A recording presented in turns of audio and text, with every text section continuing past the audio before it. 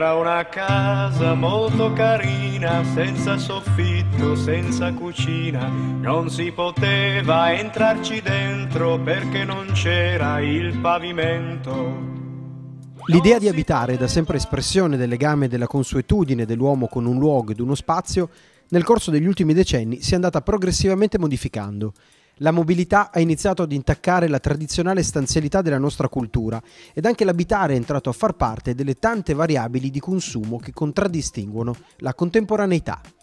Unità abitative, unità scambio, servizi collettivi, spazi fluidi ed informali, co-housing, housing sociale sono solo alcune delle espressioni che indicano gli orizzonti del nuovo concetto di casa.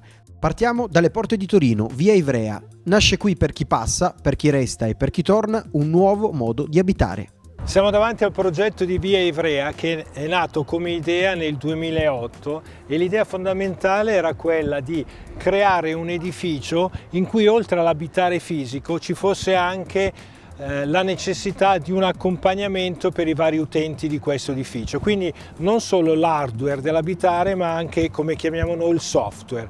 Questa idea è venuta a Oltre Venture che l'ha presentata al Comune di Torino a cui è piaciuta molto creare uno spazio di housing sociale temporaneo, questa è la caratteristica fondamentale. I nostri utenti possono rimanere da noi da un mese fino a massimo un anno, c'è quindi questa esigenza di di rotazione. Quindi quello che noi abbiamo voluto creare è uno spazio abitativo temporaneo in collegamento con il territorio.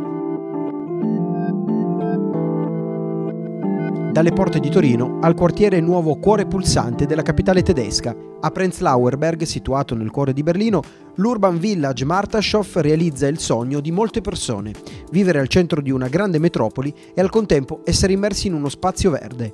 Attraverso l'integrazione armoniosa fra natura, architettura e individuo, i più alti standard di vita con l'impegno a seguire i principi di sostenibilità ecologica e a rispettare la natura, la storia e la cultura del luogo. Il primo tratto essenziale è il risparmio energetico e il rispetto dell'ambiente.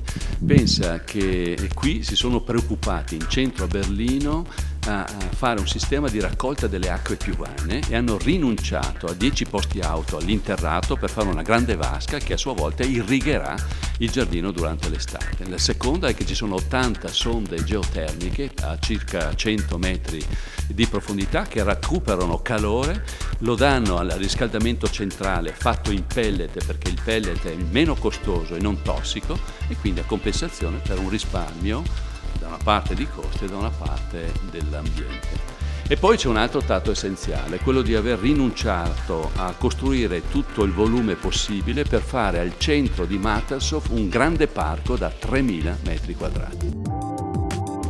Nel solco del rispetto dell'ambiente, un nuovo progetto che ci riporta a Torino per la precisione a Settimo Torinese. Si chiama Casa 100K, ideata dall'architetto Mario Cucinella. Una realizzazione capace di restituire il senso di piacere dell'abitazione e ripagare il costo dell'investimento con l'energia che è in grado di autoprodurre.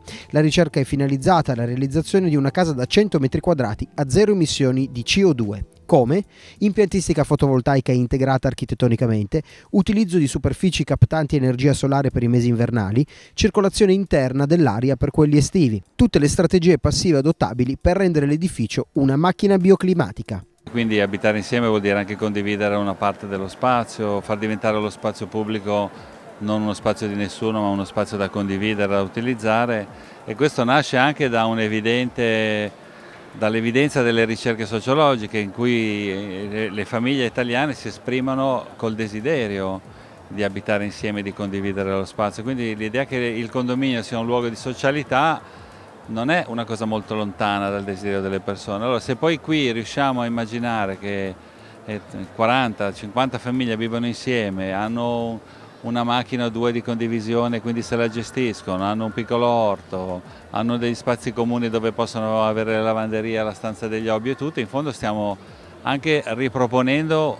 un modo di abitare insieme. No? Quindi in questo senso l'architettura dà anche una risposta non di natura solo estetica, no? ma aiuta anche i comportamenti, mette insieme le persone perché gli dà l'opportunità di vivere in un certo modo e questo mi sembra che sia proprio il vero, la radice del lavoro di un architetto.